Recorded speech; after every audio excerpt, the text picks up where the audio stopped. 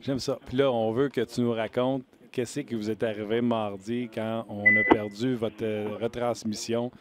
Et là, Alain, Vincent puis Denis ont fait une superbe job. D'ailleurs, je pense que c'est Denis qui a dit euh, En tout cas, chapeau à Pierre et Marc. c'est pas facile. Qu'est-ce qui vous est arrivé, dans, euh, mon chum? Puis qu'est-ce que vous faites dans ce temps-là? Vous juste stand-by à regarder la game? Qu'est-ce qui s'est passé?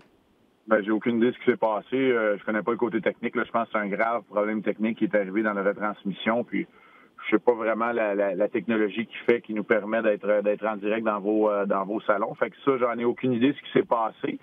Euh, nous, pendant peut-être une trentaine de secondes, on a continué de décrire parce qu'il va arriver que la retransmission va être perdue momentanément, 10, 20 secondes. Puis vous autres, chez vous, vous en rendez même pas compte parce que là, avec les relais, ça finit qu'avant la pause publicitaire, on va peut-être avoir 15 secondes dans le fond, ce qu'on va, va décrire, vous allez l'avoir 15 secondes plus tard chez vous, puis vous n'aurez rien manqué de Pierre et Marc. Euh, ça, ce sont des choses que moi, que je me suis expliqué qui arrivent. Sauf que là, ils nous ont laissé décrire pendant une trentaine de secondes et finalement, pour nous dire, OK, oubliez ça, les gars, on a tout perdu. À Montréal, on a récupéré des images. Alain va dire qu'on a des problèmes techniques. Alors là, restez stand-by parce que aussitôt que ça recommence, on va faire un reset. Et là, Pierre va dire, on est désolé des problèmes techniques. On est de retour. Euh, il reste 14 minutes 15 et euh, on est à Philadelphie. Voilà Giroud qui prend la rondelle. Exemple. sauf que nous, on est resté dans ce, ce mode stand-by-là jusqu'à la fin du match parce qu'on ne savait pas quand on allait être en mesure d'être de retour en direct. Euh, on n'a pas été. Alors, à partir de ce moment-là, ce qui devient frustrant pour Pierre et moi parce qu'on est là, on est dedans, c'est un match qui est important, c'est un match où le Canadien joue bien aussi. On sait que les, codes d'écoute sont certainement bonnes. Les gens, on a, de, on a de la rétroaction sur Twitter, tu sais.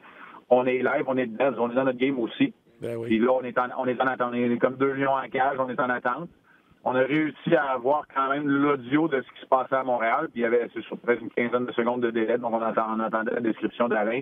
Puis écoute, on les a entendus cheminer aussi là, sur le coup. Alain, pas nécessairement après. Les joueurs, c'est pas évident. Denis et Vincent ne savaient pas quand sauter dans l'action, mais ils ont fait un travail exceptionnel, les autres aussi. Puis nous autres, on est restés là avec notre casse d'écoute jusqu'à la toute fin. Puis quand la, la période s'est terminée. On a. Euh, c'est plate, c'est plate pour les auditeurs parce qu'ils n'ont pas le feeling d'être là en direct. C'est un peu ce que j'ai entendu, mais en même temps, euh, ils n'ont pas manqué l'action. Nous, on n'a pas pu faire notre, euh, notre résumé d'après-match non plus pour les, les fidèles qui nous regardent sur la RDS.ca, mais pour ce qui est du reste, les gens n'ont rien manqué de l'action quand même parce que le travail de l'équipe technique de la RDS et des, des, des gars en studio a été, exceptionnel. Monsieur Martin, honnêtement, quand même bien que Marc Denis était au courant de ce qui s'est passé. Je pourrais pas le faire grand-chose. Puis euh, quand même, on m'expliquerait qu'un relais de fibre optique à Toronto, euh, enfin, je je, je, je, aucune idée. Je sais pas ce qui s'est passé.